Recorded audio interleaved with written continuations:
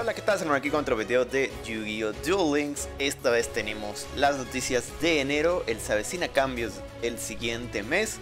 Pero también Konami nos ha sorprendido con una nueva ban list, la cual nada más toca una sola carta y además eh, unos cuantos cambios de habilidades. Eh, estas dos cosas van a llegar en días diferentes, pero luego lo vamos a ver en otro video.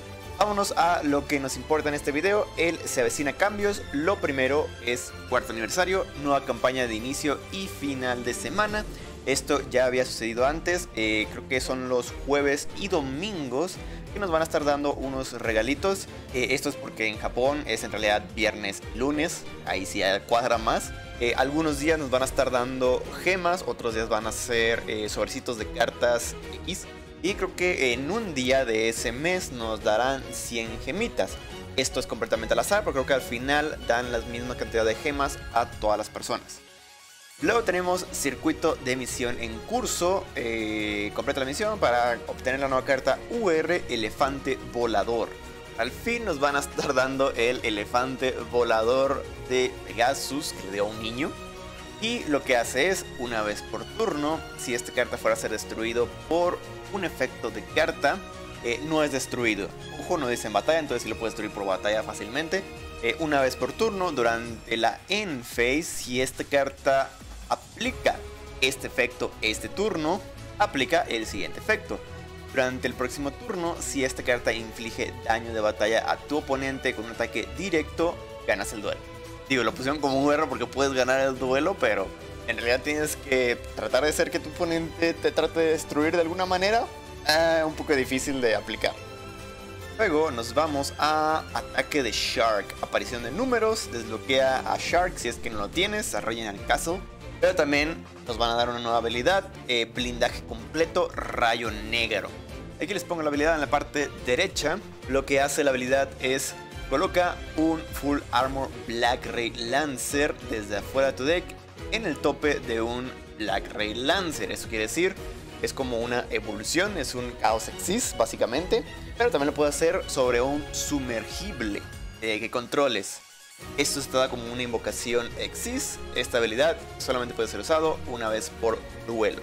Y aquí les muestro el Full Armor Black Ray en realidad necesitabas tres monstruos de nivel 4 de agua, pero también se puede ser invocado eh, por Exis usando un monstruo de rango 3 de agua. Justamente los dos que menciona la habilidad son rango 3 de agua. Dice, esta carta gana 200 de ataque por cada material que tiene a él. Si esta carta fuera a ser destruido eh, boca arriba, puedes desacoplar todos los materiales de esta carta en su lugar.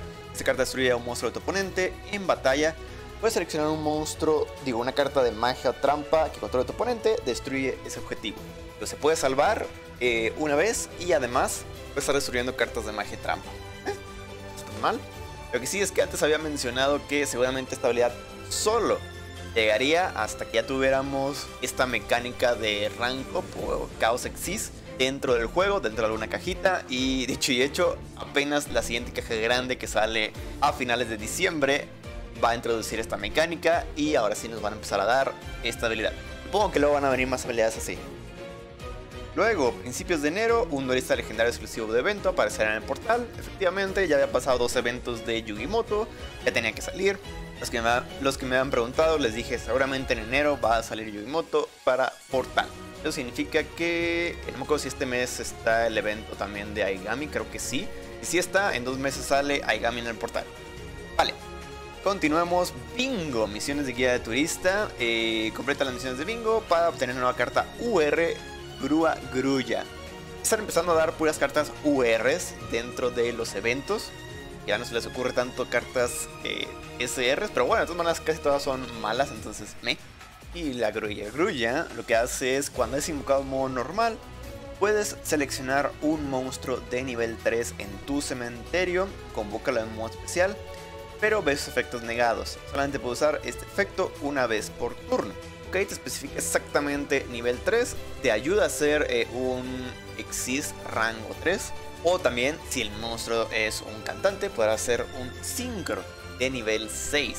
Eh, estará bueno para el deck de portarruedas, ya que son puros monos de nivel 3. Entonces ya tienes tu opción reviviendo un cantante de nivel 3. Vale, la verdad es que sí está buena. Luego nos pasamos ahora sí a la celebración del cuarto aniversario. Esta creo que es el día 12 de enero, me parece. Eso quiere decir que todo lo que mencionamos anteriormente llega antes del 12 de enero. Habrá una campaña para celebrar el cuarto aniversario de Duel. Perfecto. Luego, mediados de enero, hacia ah, aquí está. A duelos de asalto, desastre dimensional, Indiora. Entonces sí, otra vez evento de Gami, seguramente dentro de dos meses, para el mes de marzo, va a estar en el portal. Y esta vez Aigami nos trae una nueva carta UR y SR, la primera Cubic Ascension. Cuando un monstruo de tu oponente declara un ataque, convoca de modo especial un Bijam del deck. Y si lo haces, cambia el objetivo de ataque a, pues, al Bijam y eh, realiza el cálculo de daño normalmente. Tu oponente tiene 2000 puntos de vida más que tú. Puedes desterrar esta carta en tu cementerio. Convoca de modo especial un Bellam desde tu mano, deck o cementerio. Luego, si tu oponente controla un monstruo, cuando el efecto de esta carta es activado, puedes convocar hasta dos Bellams más. Solamente puedes usar este efecto una vez por turno. ¡Wow! Eh, lo malo es que aún no tenemos a Bellam solamente lo podemos sacar con habilidad. Entonces sí o sí se tendrá que jugar con la habilidad de Bijam esta carta. Pero ya te facilita muchísimo sacar a los Bijam. Hmm, así que prepárense para ver un poco de Sida con los Bijam. Luego la carta SR Gundari. Esta carta no puede ser invocada de modo especial. Esta carta regresa a la mano del dueño en la Enfe, ya que es un espíritu. Esta carta batalla con un monstruo sincro. Regresa ambos monstruos a sus respectivas manos al comienzo del damage step sin el cálculo de daños. ¿Ok? Eh, simplemente es un mono antisincros y ya. Se me hace bien raro que lo pongan con Aigami. Me hubiera parecido más apropiado si lo hubieran puesto con algún personaje eh, de 5DS, pero bueno. Igual nos están preparando porque tal vez el siguiente mes venga precisamente un personaje de 5DS que necesitemos quitarle los sincros. Pero bueno, hay que esperar a ver. Luego nos vamos al siguiente evento. Mediados de enero se acerca torneo de duelos TAG. Consigue la nueva carta UR Dragón de Oscuridad de Ojos Rojos. Y la nueva carta SR Fuerza de Neos, dos cartas de GX dragón negro de ojos rojos, dragón oscuro. Este, no sé si esto ya significa que Atticus no vaya a llegar, porque según yo es un monstruo insignia. Corríjame si me equivoco. Pero bueno, ¿qué es lo que hace esta carta? No puede ser invocado de modo normal ni colocado. Debe ser convocado en modo especial desde la mano, sacrificando un Red Ice. Ganas 300 de ataque por cada monstruo dragón en tu cementerio. Digo, la verdad es que no es tan guau, pero el arquetipo del Darkness creo que es el que es más poderoso aún. Igual y si luego venga Atticus y nos dé otra copia de esta, porque es como que, ok, te la di en evento, pero no en ninguna caja. Entonces, te vuelvo a regalar una copia con el mismo Atticus y ya. No hay que perder las esperanzas por Atticus. Luego la carta SR Neos Force, carta de equipo.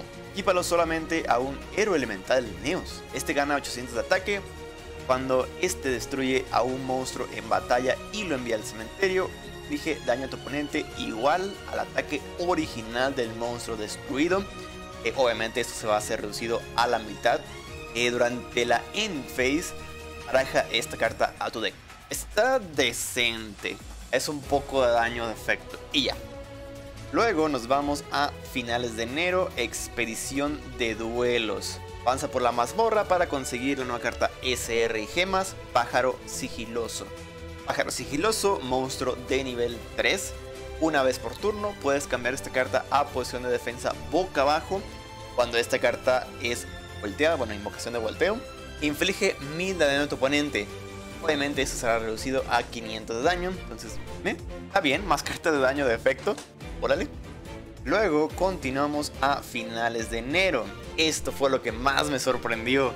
Obtén un nuevo duelista. Es tu oportunidad de bloquear a cierto personaje de Sexal. Y su frase es, daré casa a tu número. Obviamente para los que están ahorita en el juego, ven que el evento actual, el evento de Kaito, también decía exactamente lo mismo de su frase. Entonces es 100% seguro aquí el personaje es Kaito. Desde que pasó lo de Axel, les mencioné de que es probable que vuelvan a aplicar una Axel y que nos den a Kaito, pero mi opinión era que no lo iban a hacer, que, Axel había sido algo fuera de lugar. Pero al parecer no, Al parecer sí aplicaron la misma que Axel. Evento rondante en un mes y el siguiente mes, ¡pum! Ya es lo que hable. La pregunta es, entonces, ¿quién va a ser desbloqueable en febrero? Y la caja grande de febrero sí va a ser de Kaito. Yo sigo opinando que la caja grande de febrero sí va a ser de Kaito, especialmente por unas filtraciones que luego les voy a pasar, ya que no creo que nos pongan sus cartas en una caja pequeña. Pero ahora esto ya hace un poco de sentido con las cartas que se habían cambiado de rareza. Sigo opinando que la carta R y SR, el insecto Exis, van a ser para su caja, eso que hasta febrero.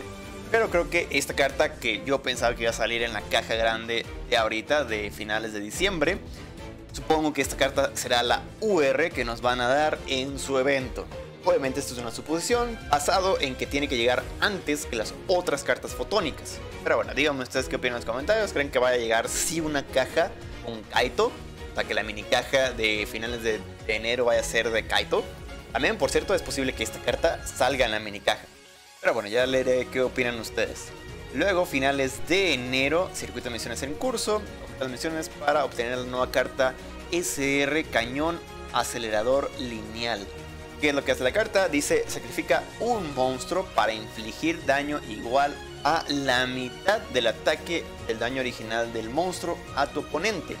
Obviamente esto será reducido a un cuarto del daño, digo, del ataque original. Eh, si activas esta carta este turno, no puedes activar ninguna otra carta de magia este turno. Uh, eso sí está un poco mal. Pero bueno, es una carta extra para hacer daño a tu oponente.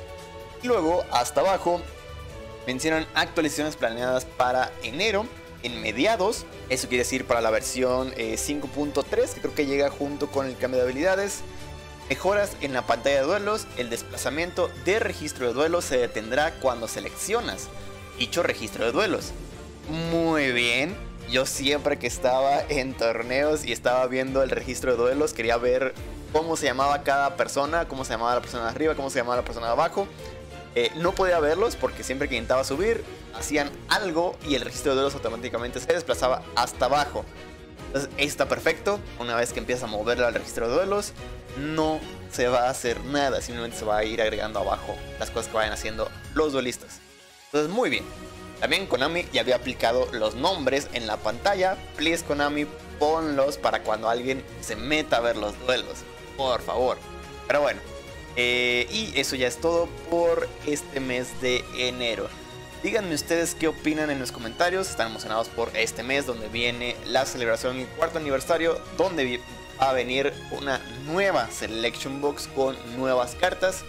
Y además el personaje desbloqueable de Kaito al fin lo vamos a tener. Vamos a ver qué nos trae. Ah, es cierto, ahorita lo pensé. También va a haber cartas por subir de nivel. Entonces creo que tal vez esas cartas Rs y SR sean para subir de nivel a Kaito. Por eso es que están después. Porque empieza el evento, te dan eh, una carta, cartas pues, y luego te dan las cartas por subir de nivel. seguramente va, a ir por ahí esta cosa. Pero bueno, lo leo en los comentarios. Muchísimas gracias por ver este video. Recuerden dejarle like si les gustó. No olviden suscribirse al canal si no han hecho. Y nos vemos en la próxima. Bye bye.